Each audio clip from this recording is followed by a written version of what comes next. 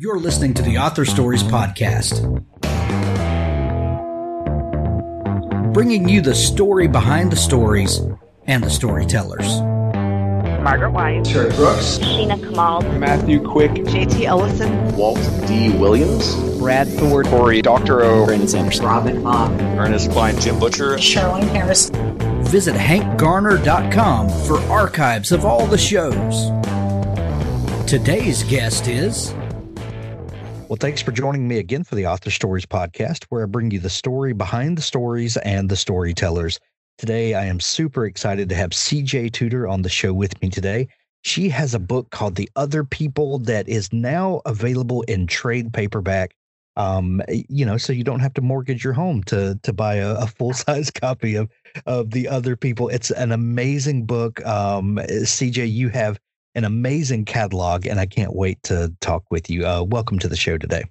Oh, thank you. Thank you for having me on. Excuse me for being a little bit croaky. I'm at the tail end of a really rotten cold. So I have my kind of um uh, my croaky, well, not very sexy voice.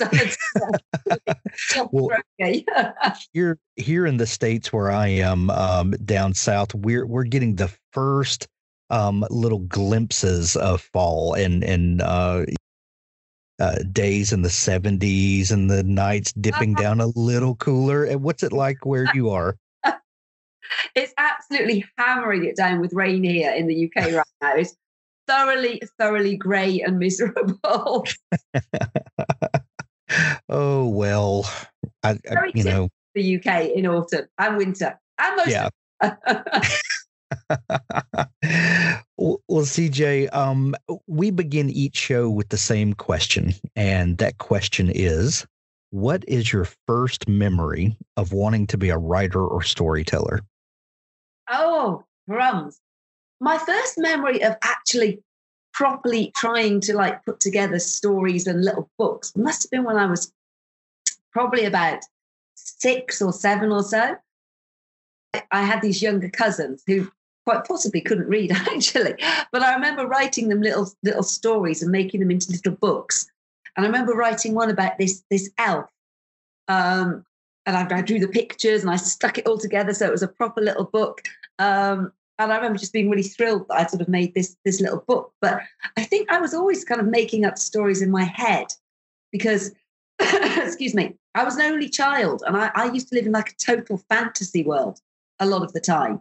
My brain was constantly, you know, every day I would make up this little world that I was living in, whether I was, I don't know, a, princess or something living in a castle, or I was a, a dog, or you know, I, I, I totally inhabited these fantasy worlds that I would make up every day, and I would go about my little life and my day in this fantasy world. So I think I was constantly making up stories. Really, I love that. Uh, there, there's something uh, magical about when you, as a kid, um, realize that books are something you could make. Um, because I think in, in everyone's mind, when you go to a bookstore or a library and you see just these rows and rows of books, there's a there's a certain point in your life where you just kind of assume that books always are, always have been. Yeah. And then there's a moment of realization when you realize someone created these things. Someone wrote the story, they imagined it, and then someone else bound it together and, you know, did all of the work of publishing. But th- these were actual people that made these. And and then when you can make that leap from someone made this to I can make this, that that's an enchanting moment. It is, and it's that strange thing that you you suddenly realize when you start to write um, that you can create all these wonderful fantasies and worlds and boundless possibilities. You can do whatever you want. You are completely in control. And I think as a as a child, that's quite an exciting thing as well. You know, as a child, because you're constantly being controlled and told what to do. Right. But start writing yourself, you have this whole world and you can make up characters and, and things or put yourself in these stories and you're completely in control of it. And that's quite an amazing thing, I think, as well, when you're a child. And that, I think that was what excited me as well when I sort of started writing um, to just you know I could I could put all these these stories on on, on sort of paper and pen and put them together, and and it, it was all mine. You know, I had complete control of them. I was a god of all my little stories and worlds. I read somewhere, um, CJ, that you said that while everyone else your age was reading Judy Blume, you were reading Stephen King. Uh, what what is it about the the darker side of life that fascinates you? Know. It's weird, isn't it? Because my parents are completely normal and they they they don't like reading at all. Um, but I was always really completely normal. Macabre, even from a really young age, and, and it's hard to say. Well, I think a lot of kids are quite macabre. Um, I think that's just in children, you know, that that wanting to. I see it in my own little girl who's seven now. You know, we found a dead squirrel the other day, and, and she was just like, "Oh, poke it! Can we poke it, mummy? Can we poke it? Is it dead? What's going to happen to it when you bury it?" They, they are. I think there is a fascination with that as a child, and I, I remember that as well. And then from quite a young age, I was reading like ghost stories and Hamlyn's true ghost stories and all that sort of thing. And then very quickly that sort of sort of progressed to Stephen King. Because of course, because I'm very, very old, I'm 48. um, there wasn't so am I. when I was a kid. Yes, you know what I mean? So you did go straight from kind of kids' books. Like obviously I, I sort of went Enid Blyton. I loved Enid Blyton when I was younger. But then I think that age when a lot of kids were, I think Judy Blume was the closest kind of thing you had to YA kind of then. Yeah. That transition from proper children's books to adult. Um, but very quickly, that didn't cater for my kind of desire for dark kind of mystery. So yeah, I started doing things like Agatha Christie. I'd get these books from the library, and then one day picked up a Stephen King book, and then that was it for me. I was just completely enthralled. It was like, oh, wow, this is what I want to read, and this is what I want to write. So, and that was probably about eleven or twelve, I think. Yeah when you when you talk about um, Agatha Christie, you know, I, I'm just remembering as you're talking to when I was a youngster in school, and I remember there was there was always a girl uh, who was reading things that were way past our age level, and she was always, you know, reading Agatha Christie or things like that, and and we just assumed that she was the genius of of the group, um, you know, and uh, it, it's it's interesting. Well, it's interesting when you when you put it that way because um, there's something mature and um, I, I, don't want to say smarter than the rest, but but kind of yeah, it's smarter when when you realize that these kinds of stories um, uh, entertain you or that, that you want to live in the world of mystery. There's there is something kind of more mature uh, about those stories as a child. I guess, yeah. And I suppose like there's that that desire as a child always have things that perhaps you're not supposed to have. Right. So, you know, as as a kid, getting into the, you know, the adult, so to speak, section of the library and being able to pick up grown-up books. I think I probably used my dad's library card, I think, um, is quite exciting. And particularly when I was a kid um, in the 80s, horror was really, really big then. Of course, you have Stephen King and James Herbert and Dean Koontz, Clive Barker, and it was a very popular genre. So you'd go into a lot of the, the stores and you'd see these very garish kind of horror covers with, you know, right. I remember James Herbert one, The Fog, with this hand holding this decapitated head. really quite brutal and gory. And as a child, of course, you're like, I want to read that because I feel like I shouldn't be able to read that, you know? So I think there is also that kind of like wanting to read things you're not supposed to. And of course, right. adult books have adult themes and they have swear words uh, you know, sometimes they have sex and so on in it. And so I think there is that kind of lure of the the forbidden too. But at the same point, I think, you know, if you love reading, um, moving on to more adult material, I think again it challenges you in, in ways as well. You know, emotionally it challenges you with what you're reading and in terms of language and everything else. So, you know, I think it, it, it was, you know, for me it was it was a great thing. And I I kind of learned everything I know about writing, I think, from reading, because I never went to college or university. I didn't do any writing courses. So really, I, I, you know, my reading and getting into sort of reading more grown-up books when I was quite young, I think is, is what has taught me how to write really. So from from that young age of creating stories and binding them for for your young audience, um, was there ever an adult who recognized this storytelling gene in you and offered any encouragement along the way? Yes, I mean, I had um, I remember this teacher when I was at junior school called Miss Wilkinson, who was lovely, and she used to really encourage me. I used to write poems and things then as well, and she was lovely and really encouraged me. Um, and then when I was at senior school, I had a couple of great English teachers, but I always remember Mr. Webster um, was my English teacher in in senior school um, in the UK, So from about when I was probably about 12 to, to 16. Um, and he really used to encourage me. And he used to lend me books of classic ghost stories and, and, and gothic books and, and lots of, you know, classic dark mysteries and things because he knew that was what I loved. Um, I always remember one of my essays he once wrote, um, if you do not go on to become prime minister or a best-selling author, I will be very disappointed. well, that's the best encouragement. but you know, it, it, took me it took me quite a long time. But you know, I, I am an author at last, so I like to so, be proud eventually. So from from those times where you knew that you were going to be an author, or there was a desire in you, um, to having um, the Chalk Man, which was your first book, having it published, what what was the intervening time like, and and when did you realize that this was something you were going to pursue, whether you know whether it worked out or not? This was something you were going to work toward. It was a long, long time. I, uh, I mean, I loved writing as, as a teenager, but then I left school and I kind of didn't write for quite a long while. Um, I had a variety of jobs. Um, and then in my 20s, I think I, you know, went through that think a lot of people in their 20s go through of like, you know, bad relationships, uh, perhaps going out and having fun and just being generally irresponsible and not really settling down to anything in particular. And it probably wasn't until I was in my early 30s that I sort of started writing properly again with an idea of wanting to get back into it and wanting to do something with it.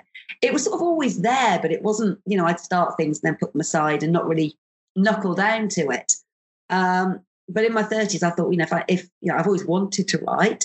My jobs, you know, on and off had involved writing. I'd worked in radio, writing commercials and so on and so forth. And, um, you know, I was agency and I'd, I'd sort of been in writing loosely, but the whole book writing thing, I'd always, I, I think part of me always felt it was a bit beyond me. I wasn't sure if I had the endurance to sit down and actually write a book without getting bored or distracted or something. So I kind of set myself a task if I would get from the beginning to the end of a book and just finish something, whatever it was like, even if it was awful, I would just finish something. Um, and that's kind of what I did. And it was awful. But I proved to myself that I could get to the end of a book, which was always the challenge with me. I had lots of ideas and I could never really see it through. And once I knew I had the discipline to write, you know, 400, 500 odd pages, then that made quite a difference. I sort of went about the next task of like writing something good with kind of the belief that I could do it. Um, but I, I, had a lot of false starts. I, you know, I had an agent at one point in my 30s with about, I think, the third book that I wrote. Um, but then that didn't work out. And I kind of thought that was, uh, but they really wanted me to write what I call straight crime, crime procedural. Um, and therefore they tried to take all the more, excuse me, creepy or supernatural aspects out of my writing. But that was what I really wanted to do. So we kind of, you know, battled back and forth for I think almost two years over a manuscript, and then it didn't get near a publisher. And I eventually kind of thought I'm really miserable, and I decided to leave that agent, which at the time felt a really kind of well either brave or stupid thing to do. Um, and it was a long while before I you know got another agent, but ultimately I think it was the right thing to do because you know what's what's the point of trying to write stuff that isn't you or you know that you're not happy happy doing. You have to kind of have a little bit of integrity perhaps with your writing. Do you want to get paid to write stories? Do you enjoy collaborating with other talented storytellers? Do you want to work completely remotely and set your own hours? Relay Publishing is looking for writers and editors to work on fiction projects across a range of genres, from thrillers to sci fi, fantasy, and romance. The relay process is extremely collaborative in the same vein as a TV show's writer's room. If you're a story geek, then you'll be on a great team. There are seven ghostwriting positions and 10 editing positions currently available. Please go to www.recruitment.relaypub.com. That's www.recruitment.relaypub.com for more information on how to apply. Join a great storytelling team today. Papyrus Author was designed and developed with the modern writer's needs, wishes, and preferences in mind. From big structures right down to tiny details, every single feature of our software has been carefully and meticulously crafted in collaboration with authors. Take charge of your writing with the author interface, which gives you access to different elements of your story, such as characters, backgrounds, and narrative structure. Move sections of your writing seamlessly in the navigator and evaluate the complexity of your text with our expert style and readability analysis. Never worry about losing progress with automated backups.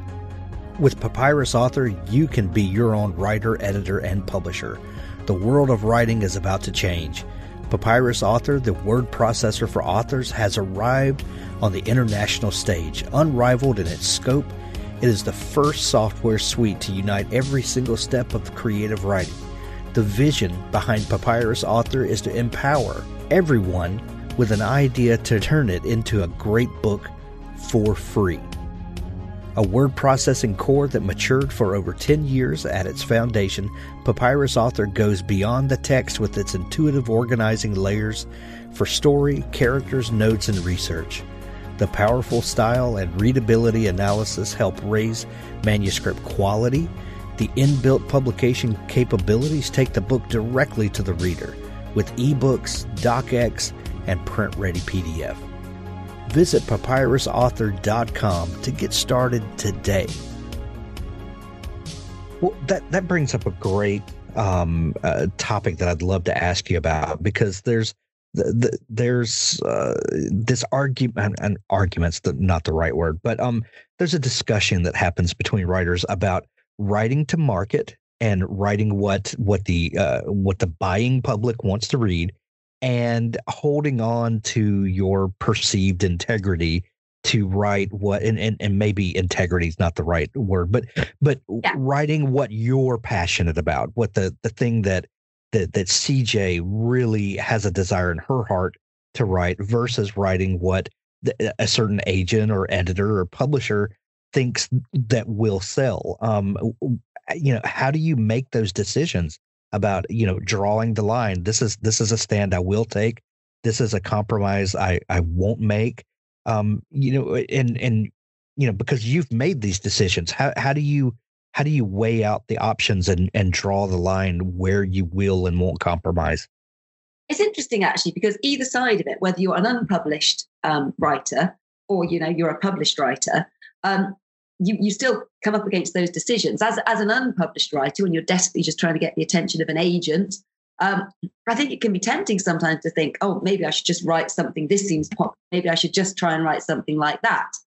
Um, but very quickly, you know, I have found out since I've kind of been in the industry, as it were, that you know that there's no point trying to do that because what is popular right now was something that was signed maybe two years ago. Right agents and publishers won't be looking for that right now. They'll be looking for something different. So I don't think you can, unless you're a very quick writer, perhaps. I don't think you can write to the market in that way. And I think, I think very quickly, I think agents and editors can see through stuff that is is just written like that if there's no heart to it. Um, and I think actually they're always looking for something different. It might not seem like that sometimes, but I think they are always looking for something different, something that's that's unique, that's you know they haven't seen before. And I think you know, you, you have to kind of stick to your guns a little bit. It can be hard when you've had goodness knows how many rejections to think, oh, maybe, you know, what I'm writing. And I was told at one point, this this this agent told me that my kind of mix of thriller and, and horror was not publishable, wasn't publishable. Wow. Um, and, and I was a bit like, I hope nobody tells Stephen King that. Well, yeah, I was going to say, I, I, think I've got one person who writes it very, very, you know, very well, and is, you know, yeah. is Stephen King, you know.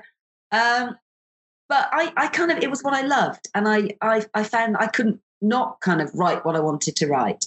Um, and then, then you know, I think fashions and publishing changed perhaps, and by the time I came to write and submit the Chalk Man, it was a different market, and I'd used that time by kind of, I guess, getting better as a writer as well. I think I did improve as a writer between that agent and, and the time I wrote the Chalk Man.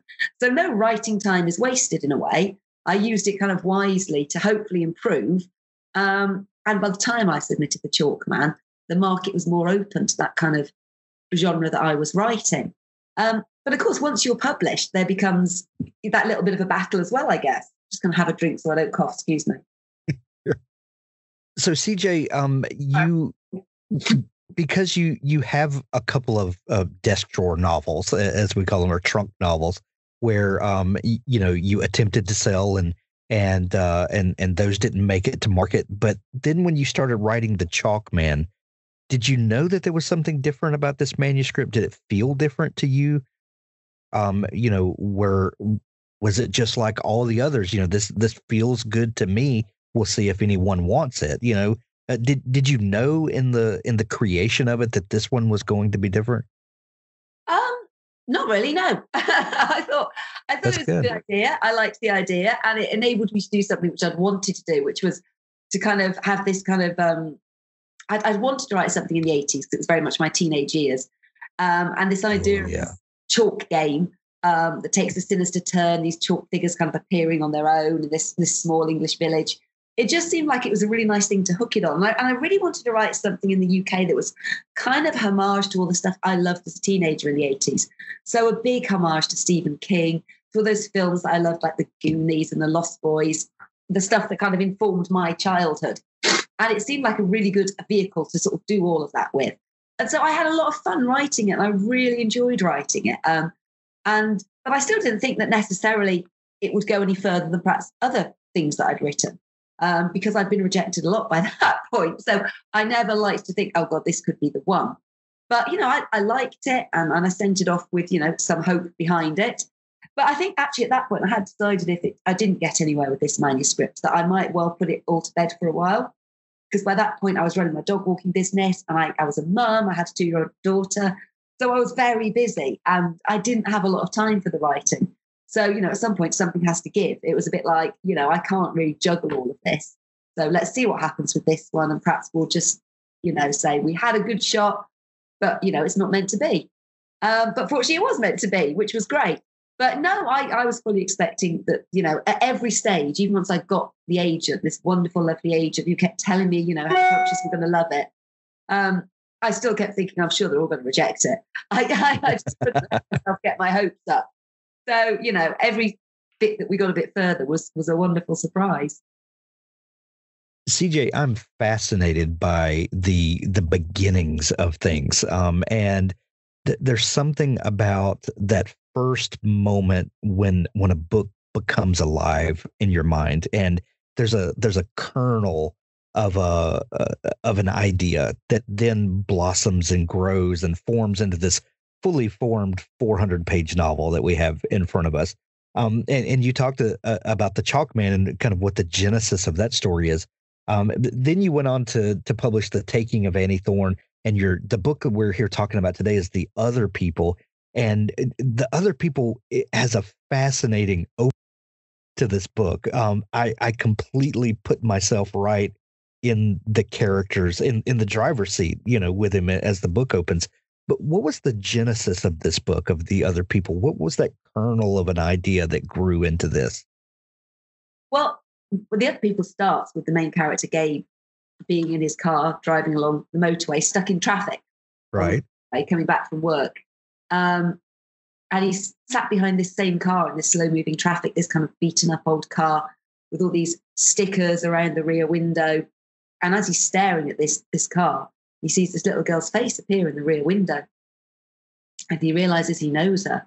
And she mouths one word, which is daddy, before the traffic starts to speed up and takes off. And, and he's just seen his own little girl in the back of this strange car in front of him where she couldn't, shouldn't possibly be.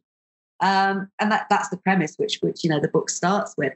Um, and it, yeah, I mean, it started pretty much with me in a similar circumstance because I was, um, we my, when we, um, we, we moved recently, my family and I, from north to the south of England because all our family are in the south.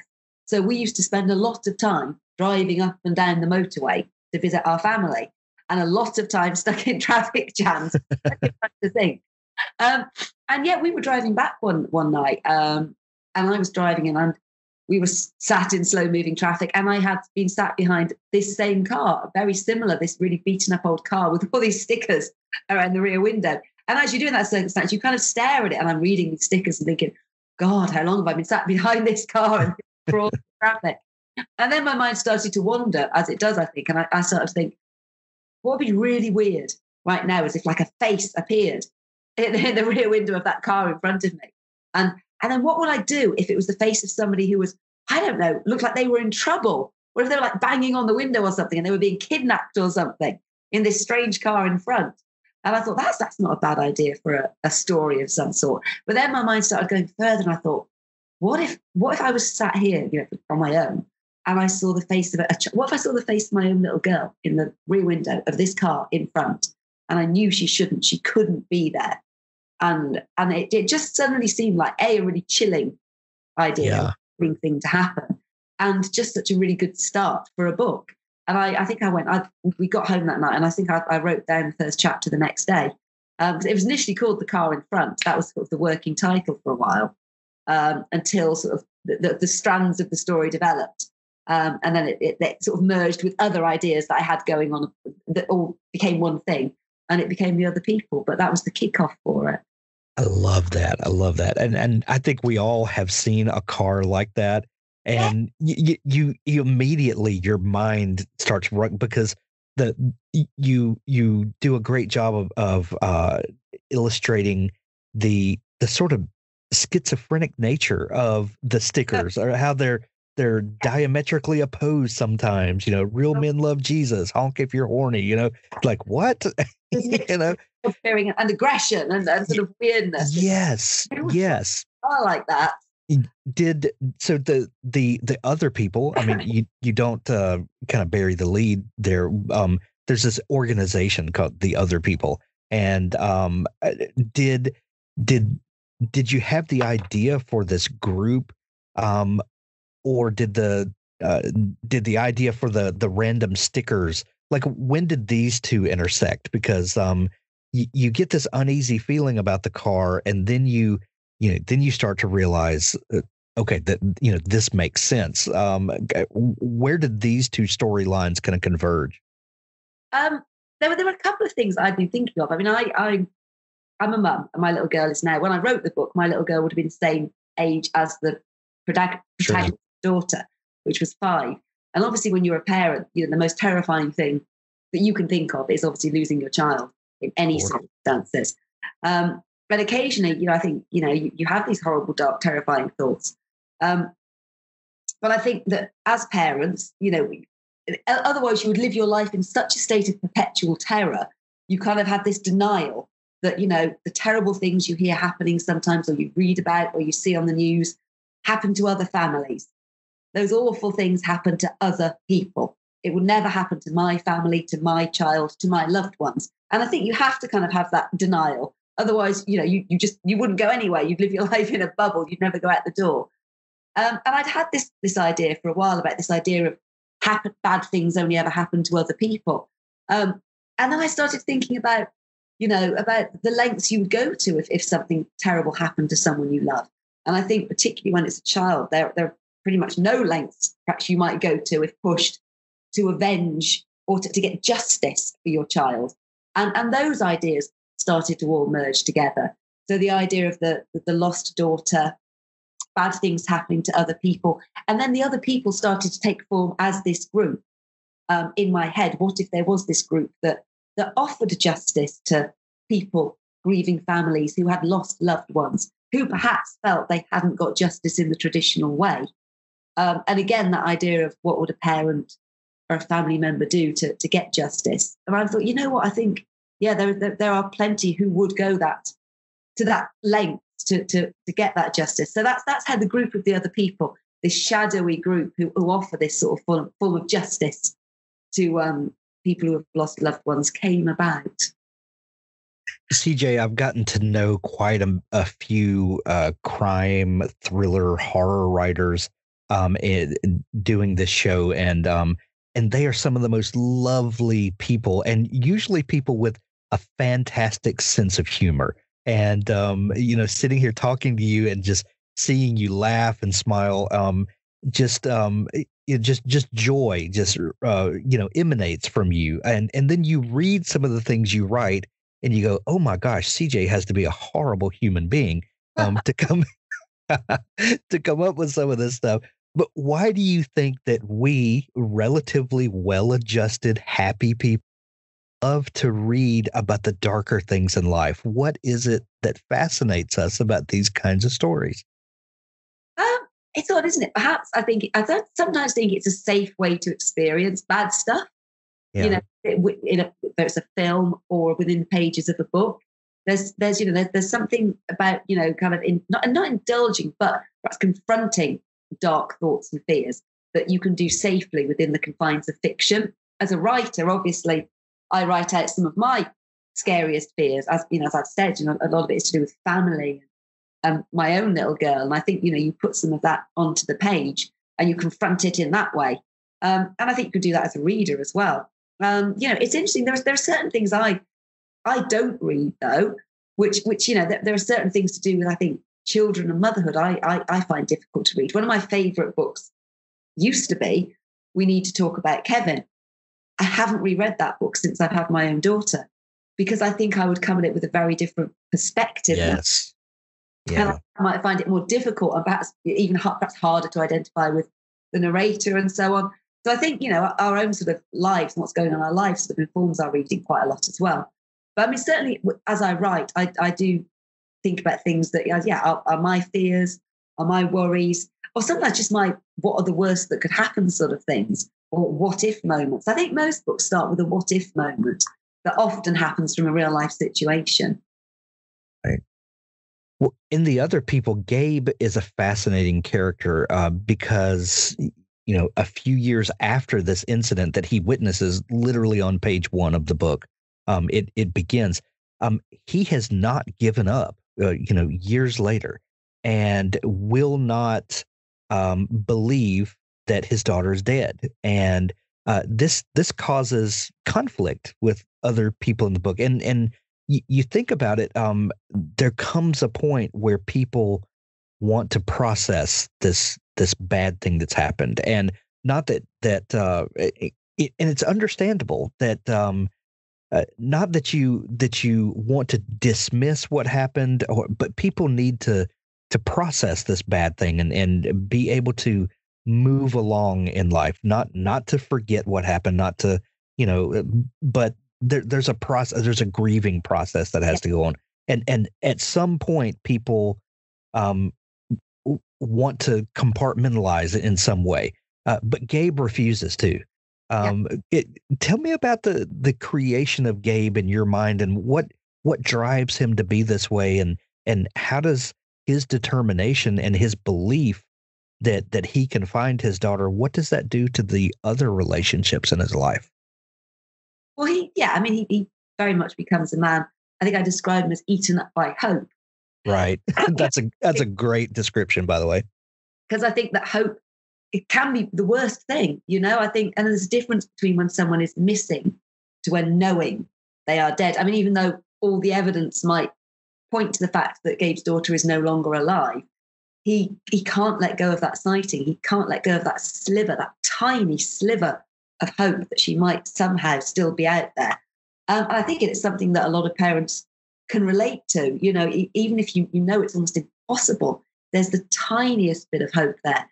You can't let go of it, and and and that's almost worse because you can't let go. Therefore, you you can't get not that you ever ever get over losing a child or a loved one, Right, right. but you are unable to, as you say, compartmentalize, unable to move on from that because that, that hope just dangles there, almost taunting you.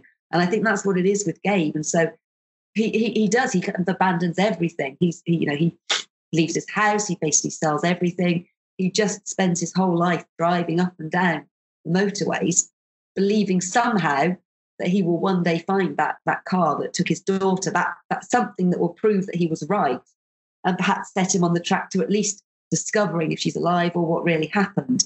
Um, and and yeah, and, that, and that's become his obsession. And I think that very much is perhaps the only thing that keeps Gabe alive. Really, I think that's the only thing that keeps him going within the book. That that drives his his whole existence to find out for himself what happened to his daughter. And and I kind of felt that very keenly. I kind of felt Gabe as, as myself in some ways.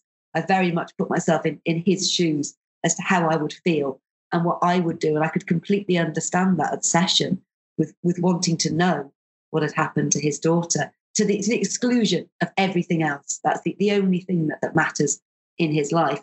So he is this very lost and very lonely and very obsessive character um, at the start of the book.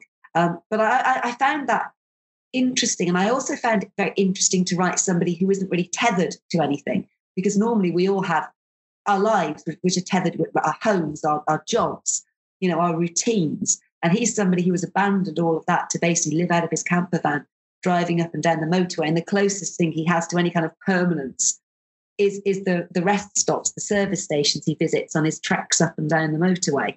Um, and I found that quite interesting to write this character who who was constantly kind of in motion on the road. Um, and I also find um, service stations, which I think uh, you sort of refer to as rest stops in the US. Um, in the UK, we call them service stations. Um, quite odd places as well, because again, they're full of transitory people. Nobody wants to go to a service station. You know, it's, right. it's not a destination you choose to go to. These these horrible artificial places where you just stop for a, you know, for the toilet or to have a snack or a drink or whatever. Um, but you know, full of these people who are just in motion or on their way somewhere else. Um, and I, I found that interesting to play with as well. So it was it was sort of a, a putting myself into Gabe's shoes very much, or I could really feel his journey all the time. And and we're not going to spoil what happens uh, to Gabe and his uh, his run-ins with uh, the other people. We'll we'll leave that for you to read for yourself, and you'll thoroughly enjoy it. Um, CJ, I know that you have a new book coming out in just a couple of months, uh, The Burning Girls. Is that right? Yes, out in, in February in the US next year. Yes. So, can can you give us a glimpse into what we can expect from there? What's the what's the the setup for it? If you can share that. Right. So, um, yes, basically, it's set in a, a small village in the south of the UK called Chapel Croft, um, and basically the, the sort of the blurb is that um, 500 years ago, eight Protestant martyrs were burnt to death in the village. 30 years ago, two teenage girls disappeared without a trace. And two months ago, the previous vicar of the parish committed suicide.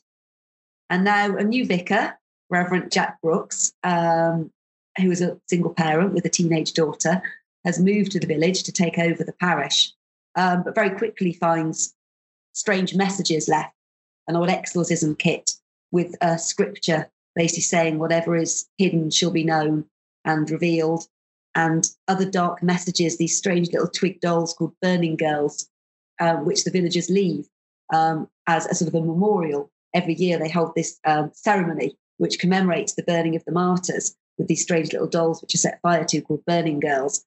Um, so these strange messages start being left for Jack he very quickly finds that there's um, a lot going on with this village, a lot tied up with the history that's sort of still happening in the present day, um, and a lot of secrets to be revealed. So I, I described it as very much a kind of like a very much a, a Wickerman esque type of gothic mystery um, because I, I wanted to play with something like that. So it's yeah, it's very dark, very creepy, lots of twists and turns um, and lots of surprises, hopefully too. But again, it was a it was a book that sprang from the fact that uh, a couple of years ago, my family and I moved from north to south to a very small village in the Sussex countryside. And um, one of the first things I noticed about when we were driving to where we now live was this very strange, odd, and creepy looking chapel up on the main road into the village. And the minute I saw it, there's a book in that. it, it is now the book basically, and um, yeah, and a lot of history in the book is based upon real life history of the area. A lot of small villages in the UK have a very dark and gruesome and odd history. So it, it sort of was using some of that history um, in the book. It was, it, it was fascinating. So it was it was yeah that's that's the new book that's out next year. So um, I'm hoping people enjoy it there's something wonderful about seeing um, you know a centuries old little chapel. Some people look at that and get encouraged and they see a place of comfort and a place that has uh, you know that people for centuries have found refuge and solace and connected with their better spiritual selves. And then the other ones of us see that and just know that there's a horror story there a lot about people's character, doesn't it? Which way do you go there? that's right. That's right. I can't wait to read the new book when it comes out. Um, CJ, we're going to put links in the show notes uh, to the other people and your other books to make it easy for people to find Um, but if people are fascinated with your story and all the great stuff that you're doing, where can they connect with you online? Um, I am on Instagram. I am mostly on Twitter, actually. Um, I have Facebook page as well uh, at CJ Tudor Official, and I'm at CJ Tudor Author on Instagram, and just at CJ Tudor on Twitter. Um, and Twitter is the one I kind of populate the most. So if you want to chat, that's where I'll get back to you right away. Excellent. We'll be sure to put links there so people can find that easily. CJ, this has been so much fun talking today. Thank you so much for taking time to come on the show. Thank you so much for having me. And I, and I do apologize about the slightly croaky snuffles today. At least you can't catch anything online, you know? there you go. Do you ever wonder if a person's critical thinking comes at the expense of their own happiness? Is it possible to be very happy and still practice excellent discernment? I used to wonder the same thing. Then I discovered the Trouble in Paradise podcast with Nigel Kent and Jasmine Star, where they laugh as well as think about conspiracy theories and unexplained phenomena without ever getting bogged down in the age old tug of war between logic and feeling. The Trouble in Paradise podcast is a joyful program for critical thinkers who have a sense of humor. Join Nigel and Jasmine as they probe the intriguing and wacky culture of odd occurrences, strange news, and ridiculous coincidences on this hilariously intelligent podcast. Trouble in Paradise on Spotify, Apple Podcast, and Stitcher. Follow at Tipcast239 on Twitter. Trouble in Paradise with Nigel Ken and Jasmine Star, a happy podcast for critical thinkers like you.